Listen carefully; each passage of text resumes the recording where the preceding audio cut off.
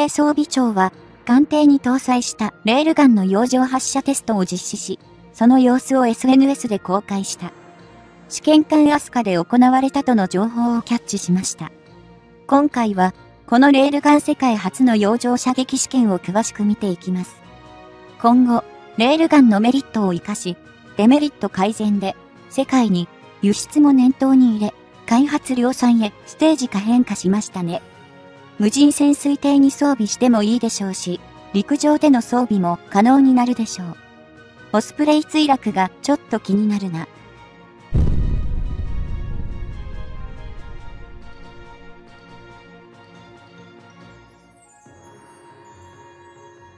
先月の2023年10月中旬、日本の防衛装備庁は、開発中の兵器である、レールガンを艦艇に搭載し、世界で初の試みとなる洋上での同兵器の発射テストを実施したことを、公式の SNS 上にも画像として公開していた。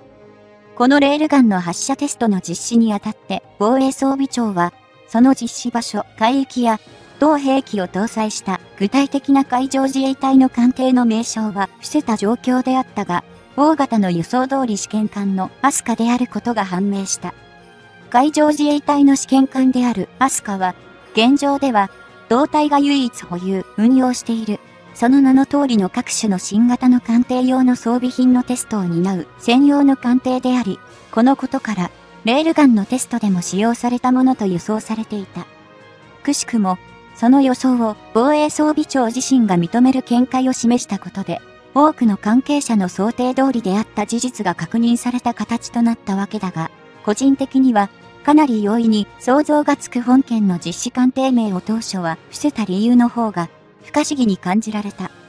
そこには防衛上の機密を保持するという政治的な課題が横たわっていたのかもしれないが、いずれ公表するつもりであったことを考慮しても、わずか半月ほどで、あっさりと試験官アスカであることを認めた真意は、正直よくわからない。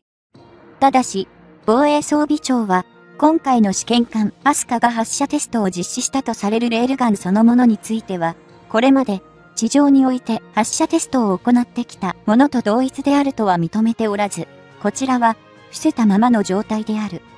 これまで防衛装備庁が陸上にて発射テストを実施してきたレールガンは、後継にして 40mm の規格のものから重量 300g の弾丸を20メガジュールの運動エネルギーを発生させて発射する単発式の仕様となっていた。今回の試験艦アスカに搭載されたレールガンは、この従来までの 40mm 口径のものではなく、艦艇搭載用に、さらに小口径に変更したものではないかとの予想がなされてはいるが、こちらは現時点では明かされていない。そうした情報の秘匿の意図を、防衛装備庁側では、テスト発射に使用したレールガンの使用を明かすことは、その射程距離や破壊力を仮想敵国に悟られないようにすることを目的にしている、と表現するに止めている。そのため、具体的な今回のレールガンの使用は、未だ詳細は不明という状況が続いているが、2024年度の防衛予算の概算要求でも、238億円の開発費が計上されており、実用化に向けた開発を継続する姿勢を崩してはいない。さて、今回のレールガンの洋上での発射テストの舞台となった試験艦アスカであるが、決して新しい艦艇ではなく、1933年4月に寄港、翌1994年6月に浸水、さらに、その翌年の1995年3月に、収益と慣例は、すでに29年目に到達している。海上自衛隊の試験艦アスカは、同型艦は建造されていないただ一隻の艦艇だが、基準排水量は4250トン、満載排水量は6200トン、全長は151.0メートル、全幅は17.3メートルの艦隊を持ち、ガスタービン機関2機と発電機1機を備えるコグラグ方式を採用していた。この試験艦アスカに搭載されたコグラグ方式の機関部は、最大で4万3000馬力を発させ、これによって最大速力も27ノット以上を発揮する仕様となっており、試験管という特性を考慮した場合、かなり強力な仕様だと感じられる。この機関構成自体も、試験管アスカではテストのために海上自衛隊の艦艇としては初めて採用された形式であったが、機関部のテストを終えた後は、発電機は他の艦に転用されており、稼働に大電力が必要なレールガンのためには対策が施されたのだろう。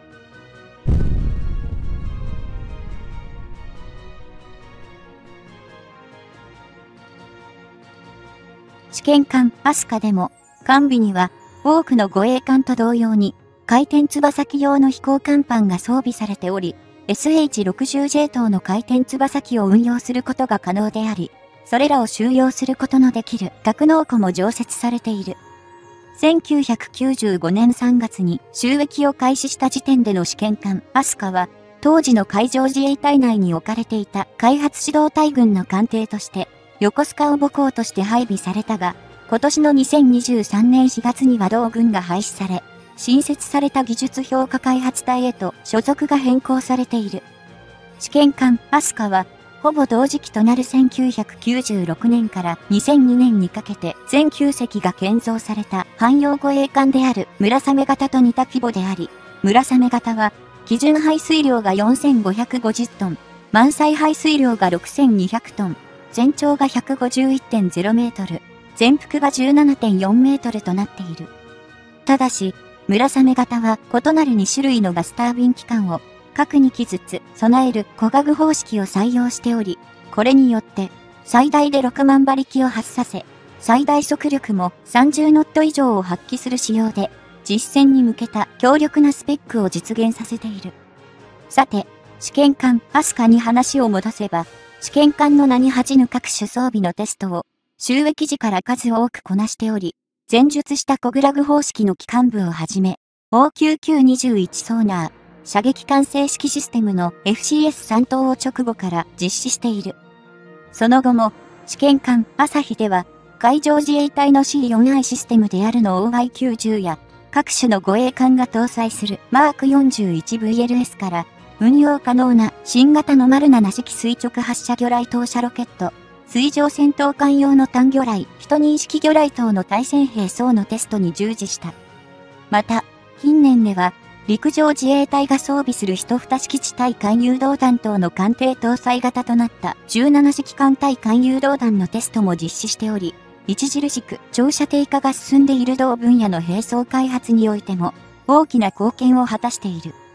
こうした各種の海上自衛隊の艦艇用の各種の装備のテストを実施してきた試験艦、朝日の経歴を振り返れば、冒頭でも述べた通り、今回のレールガンにおいても、真っ先にテストに使用されるであろうことは、多くの関係者に予期されていたと思われる。防衛装備庁では、今回のレールガンの洋上発射テストの目的を、敵の航空目標及び海上目標から海上自衛隊の艦艇に対する攻撃から防御するための一手段として実用化を急ぐ観点から言ったものであるとコメントしている。レールガンはご存知の通り従来の艦載砲の火砲と異なり弾頭、弾丸を策略の力ではなく電力とローレンツ力を使用し磁場を発生させることで発射する兵器であり原理的にはかなりの高初速でその発射が可能となる。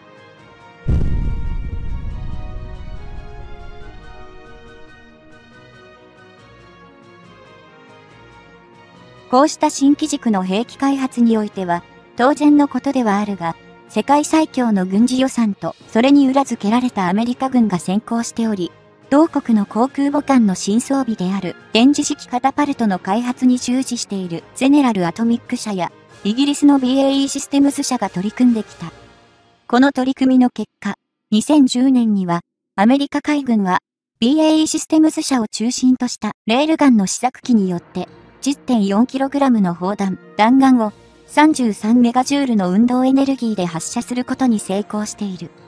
このテスト結果を踏まえた上で、アメリカ海軍は2020年の実用化を目指し、最大射程距離でおよそ 160km を目標に、毎分10発の発射を可能とするレールガンを開発することを決め、その計画を進めていた。